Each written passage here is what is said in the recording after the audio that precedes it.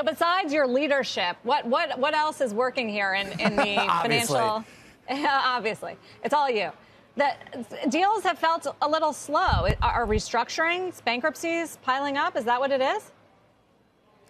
No, these results actually reflected a variety of things, but especially strength in Europe, where we outperformed the market. The market overall, uh, year to date in Europe, was down. We, we've been significantly up.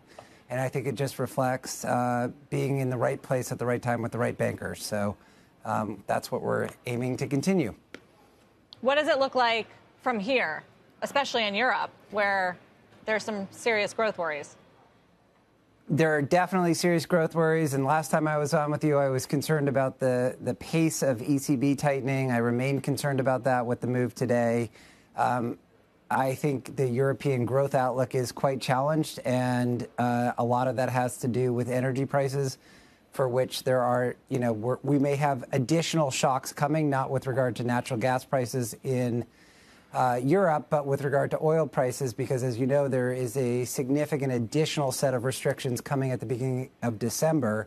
And without the so called price cap idea that the administration here has put forward, you could see significant additional um, uh, movement on oil prices in that case.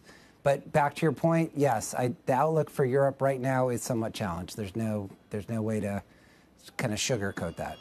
No, I remember last time you were on, you were saying that the ECB you thought was making a big mistake, and, and it did another one today I of the jumbo size rate hike. So, so, you still do.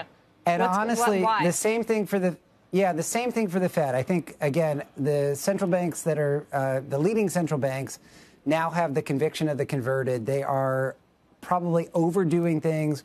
They're going to. It seems like they're going to continue tightening until they see actual uh, inflation in the rate in range that they want.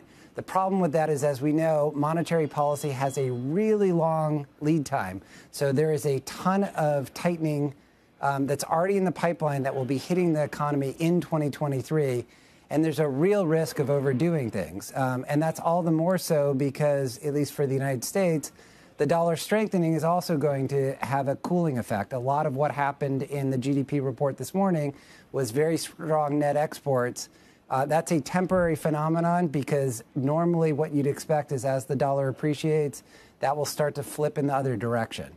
So we've got all these things kind of in the pipeline that are making the outlook for 2023 more challenging. And the central banks, both the Fed and the ECB, are sort of ignoring that and just saying, well, we don't see inflation coming down enough yet, so let's just keep tightening. So what, what then will be the result? You, you, think, you think we're headed for what a deep a deeper recession than consensus expects in the U.S. next year? Well, in Europe, I think what's going to ha- happen is the ECB is likely going to have to reverse its monetary policy at some point uh, next year as the economic uh, situation there deteriorates in the face of ongoing high energy prices. Uh, in the United States, it's a little bit less clear. Uh, again, the, the, report out this morning showed some strength, but a lot of that came from net exports. We should also note the report also, there had been this debate earlier this year about whether we were in recession. The United States is not right. currently in recession. We we're talking growth. about whether there will be one. Right. there will, whether there will be one. And, uh, you know, I think as I said last time I was on with you, if the Fed wants to create a recession, it can. And so we are on a path where with continued tightening, that is very likely where we're going to wind up. The, the question becomes whether there is an alternative path where we just kind of wait and see what the impact of the tightening that's already again in the pipeline that hasn't yet hit the economy. You saw residential inv- investment and also non-residential investment decline materially in the numbers out this morning. Also, there's a lot more of that to come. Um, the alternative approach here is there's been a lot of tightening done. We can kind of wait and see uh, how it plays out. And then the Fed and the ECB can always do more if things turn out to look really great next year. I don't think that's the most likely scenario.